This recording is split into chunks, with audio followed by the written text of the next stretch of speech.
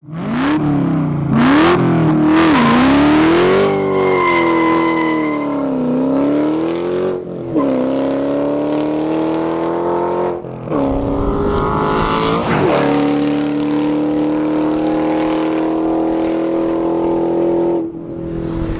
guys, John Hennessey, and today I'm going to do a test drive in one of our specially tuned Dodge Hellcat Challengers. And uh, this particular vehicle has our HP 850 upgrade, and it has a few other goodies, uh, which you'll hear about and you'll uh, we'll discuss while I'm driving the vehicle. But it's got 20-inch Nitto drag radials, which every Hellcat should have from the from the factory, kind of like the Demon.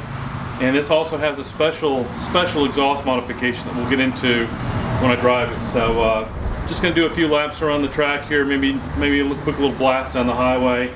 Uh, this is not the kind of car for my little windy little uh, country test road, but uh, we build a lot of Hellcats. We probably build two or three every week. And uh, it's a vehicle that I just haven't had a chance to go do a test drive in. So uh, let me go jump in behind the wheel and give you a few impressions and tell you what it's all about. Thanks.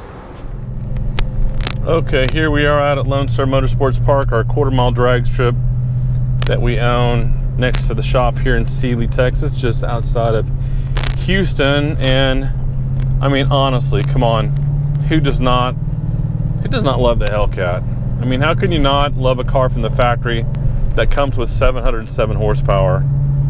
When the Hellcat first came out, I thought, you know what, that's probably going to be so much power for most of these guys nobody's going to want to modify a Hellcat. Well, it, didn't take long to get a few phone calls and people would call and say, hey, what can you do to my Hellcat? And kind of like the other vehicles that we modify it, at one point in time, somebody brings one in and we start tinkering with it. And and we discover that, you know, the, the first 100 horsepower in the Hellcat's pretty easy. It's a basically a modified supercharger with a different pulley to increase the boost. It only increases the boost about three pounds. And um, retune the computer, air intake, modify the blower belt, dyno tune it. Picks up about 100 of the wheels. And so we're talking about going from stock, a Hellcat will make uh, manual or automatic, they make about 630 to the wheels and they'll go to 730. We've seen some as high as 740 to the wheels. I mean, that's a lot of power. And uh, other cars, we've got to do a lot of modifications to get that kind of a power increase. So I'm just going to do a, a little warm up lap here just to put a little heat in the in the tires and the brakes. So when we test our cars here at the track, when the track is not prepped, we run we run in the opposite direction. So I'm actually running towards the starting line. So uh, you're watching the video and you're like, what the heck is he doing? There's a method to our madness. We like actually having just bare asphalt like on the street back where we're accelerating from. So um, you know, again, before we get into the details and the modifications and the driving impression on what the car's about, I mean, it's you know, it drives like stock. I mean, uh, and and and again, what's not to like about the Hellcat? Well, I'll tell you, the interior is like, it's really cheap. That's really my only knock against the Hellcat. I mean, the the performance per dollar, um, it's comfortable. Uh, yeah, yeah, sure, it's big, it's heavy. Uh, there are other cars that are lighter, but you know what, this car will still probably beat him in a drag race anyway. And if those other cars are fast around a road course, the Hellcat doesn't really care because when I tell people, they say, well, "What's special about the Hellcat?" Well, it's like it's like a living room. It's like driving your living room couch with a jet engine. That's my description of the Hellcat, and I like that. I like my I like my living room couch. I like having my big TV, which happens to be the open road, and uh, you, can have a lot of fun with these cars against in, in stock form. Um, this particular car with our 850 upgrade uh, is is crazy. I mean, it's going to be 10 miles an hour faster in the quarter mile. This particular car has drag radial, so it'll easily drop it uh, deep into the 10s in the quarter mile. No, it's not as fast as the Demon, but we'll talk about the Demon later.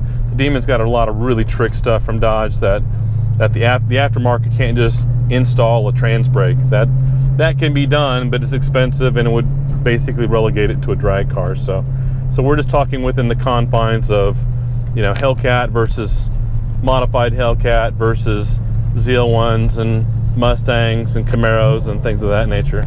Okay, so we're just going to just do a little roll on here.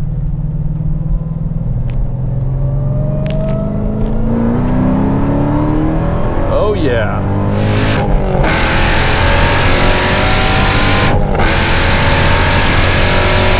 Go. 134, which is a good speed for the back of our truck.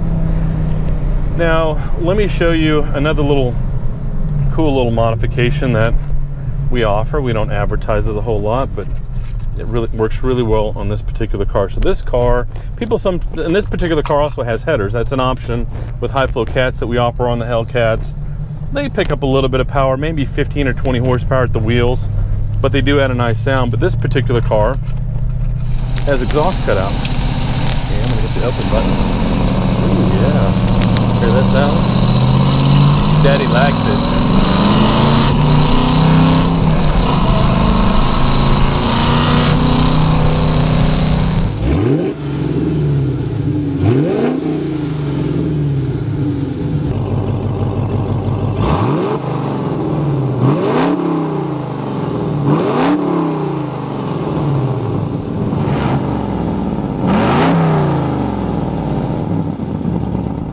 So the exhaust cutouts are basically electronic valves that sit right before the rear mufflers. So if you want some more noise, you know, if you want to be the cool dad in the pickup line at uh, your kid's grade school, which I got a chance to do about 10 years ago, I had a Cadillac wagon, my Hammer wagon that I had uh, that I had dumps on. I could show up with the, you know, kind of mellow stealth wagon, then hit the dumps, and all of a sudden, people are looking around for they're looking around for uh, you know Joey Logano in his in his in his cup car. Uh, makes a pretty big difference in sound. So we'll give it a roll on here with the dumps open and see what the sound differential sounds like. And your mark, get set.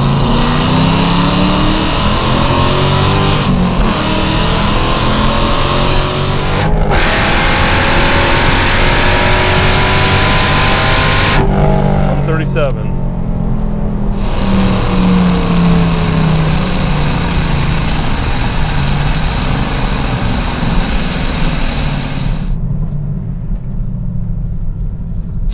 Everybody loves a louder car. When you want it to be louder, you want it to be quieter, just grab your little key fob, hit the close button. And quieter it is.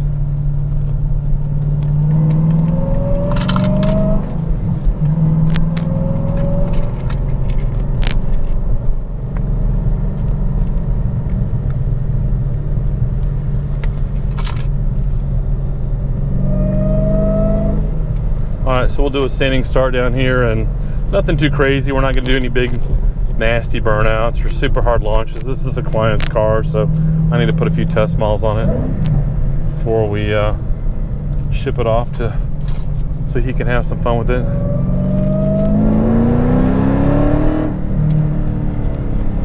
All right, we'll do the dumps open again. I think I like that better.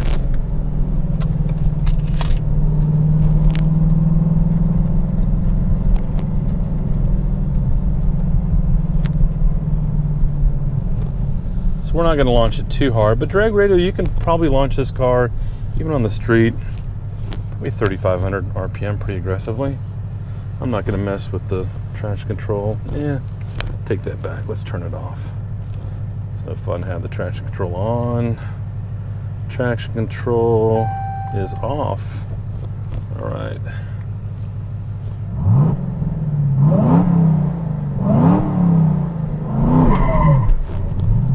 Yep, did want to spin the tires there. Again, we're not doing a burnout. We're just going to just, maybe we'll go three grand. Little bog and go.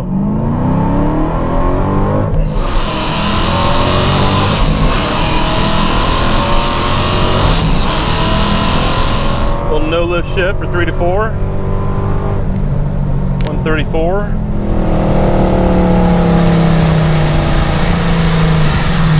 You the other thing I love about the Hellcat you can just beat the piss out of it all day long.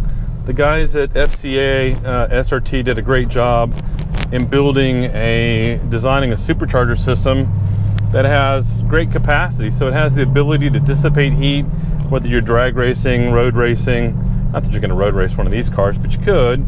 You'd have a hard time through the corners, but you wouldn't you, you wouldn't lose a lot of horsepower because of heat soak. Um, I like that about a car. There are other other cars. I mean, for instance, the LT4. I love the LT4. and the Z01 and the Z06 and the Z06 Corvettes, they get hot easily. I mean, we have things that we do to upgrade that and reduce that effect, but when you've got a physically larger displacement supercharger, like you do in the case of the of the Hellcat, uh, that helps dissipate that heat. All right, one more time.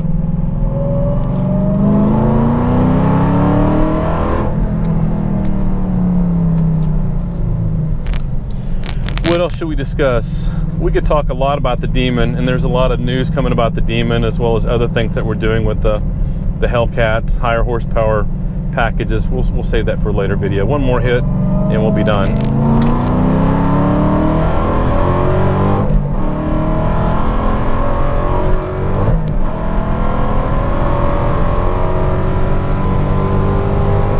One thirty-eight. Do it all day long. Thanks for tuning in.